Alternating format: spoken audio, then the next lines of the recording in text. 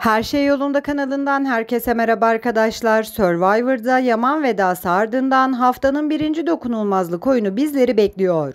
Öncelikle sizden haftanın birinci dokunulmazlık oyununu kazanan takımla ilgili fikir ve düşüncelerinizi yorumlarda bizimle paylaşmanızı istiyorum. Bakalım kırmızı mı yoksa mavi takımın mı adı daha fazla yazılacak. Biz haftanın birinci dokunulmazlık oyununu mavi takımın kazanacağını düşünüyoruz.